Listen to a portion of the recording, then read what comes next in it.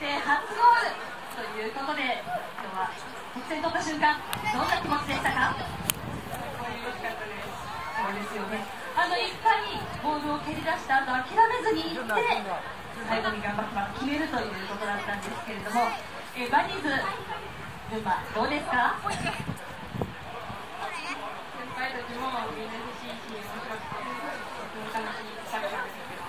楽しくサッカーができているということであのどうですか皆さんに可愛がってもらってる感じはい。まあ、これからもあのまだこの後試合がどんどん続いていくと思います。がその若いパワーを使ってぜひチームを盛り上げていただきたいと思います。今日は初ゴールおめでとうございます。とうございます伊藤選手はですね選手面談にもギリギリいですよねはいなのでぜひ会場の皆さんの選手持ってらっしゃる方はまだ伊藤選手の写真が載っていないので今日しっかり見て